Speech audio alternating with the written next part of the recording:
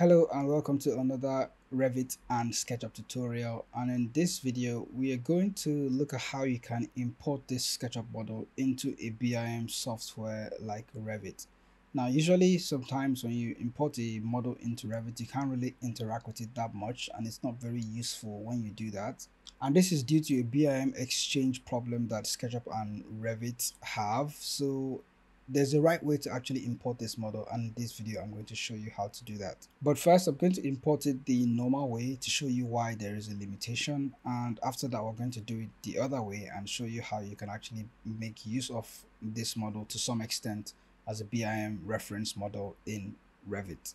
So we're going to head over to Autodesk Revit now and this is Autodesk Revit 2025 but it should work in other models of Revit as well. So you're going to head over to insert and what you want to do is to link CAD and when you head over to link CAD is to find the SKP file that is the SketchUp model and over SKP look for where you actually went on to save it. Mine I think is in the downloads folder.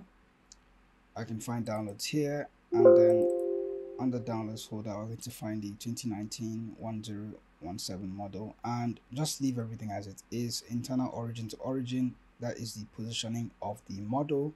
And just go ahead and click open. Revit will take the SKP file and import it into the Revit software So we've gotten an error that says the imported geometry contains non-uniform scaling transformations which Revit does not support, so some of those items might be displaced or distorted. This is normal because the BIM exchange format is different from SketchUp into Revit, so you can see the model in here if we zoom in. It's just one item that you can't really do much with it. You can't really check the walls or check the windows or check all those other models. But we are currently on the level 1 floor plan, so if you switch to 3D, you can see the full model here in Revit. But the issue with this model is you can't really interact with it that much. You can't touch the walls, you can't touch the windows, and even this chimney thing up here, you can't really touch it. So this is the first issue that we have when you're importing a BIM model or a SketchUp model into a BIM tool like Revit, you're going to have this issue that you can't really touch anything. So the second way I found to actually import this model that can give us some access to the model, even though it's not a complete access, but it's much better than this. So I'm going to show you how to do that. So what you want to do is to head over to SketchUp and then go over to File and then say Export and export it as a 3D model. And there are different ways you can actually choose to do this.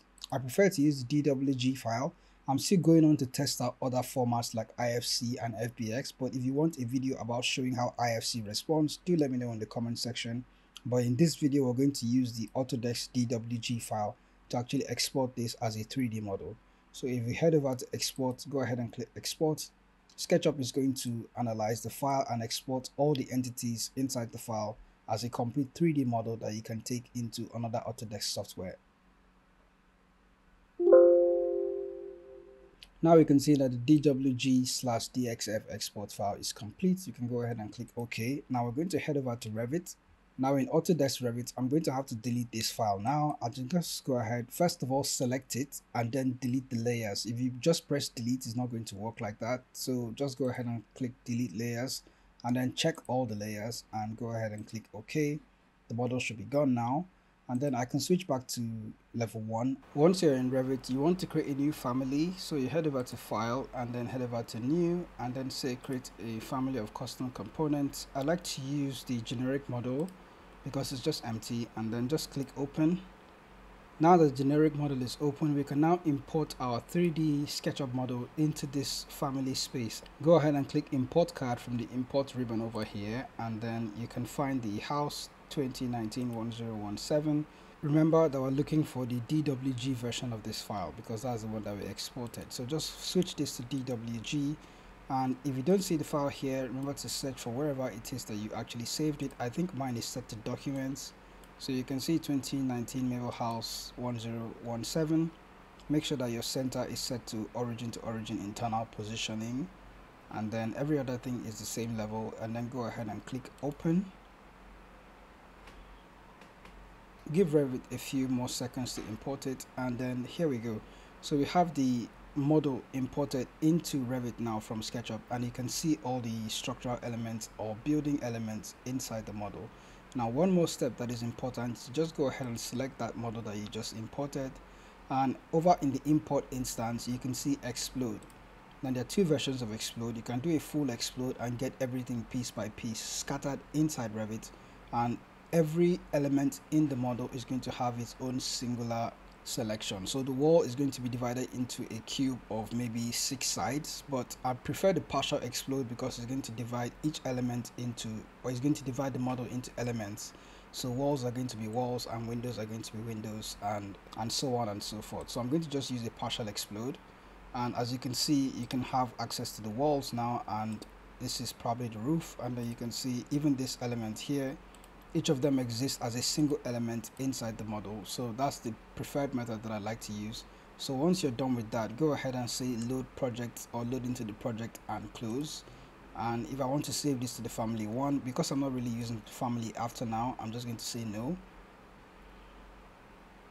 And now we have our model inside Revit. You can go ahead and just choose where you want the model to drop. I can pick anywhere close to the origin here and click paste or drop and maybe you can paste more of it if you want but just press escape to let go and escape again okay escape twice to let go and you can see your model inside Revit now.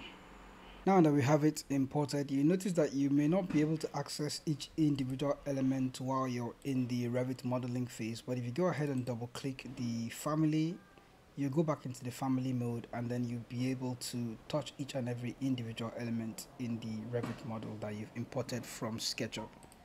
This is one of the limitations of BIM exchange with SketchUp and Revit, but as long as it gets better in the future, we'll probably have a better exchange between the two and then you can work with both SketchUp model inside Revit in a way that is easy for you to actually interact with the elements.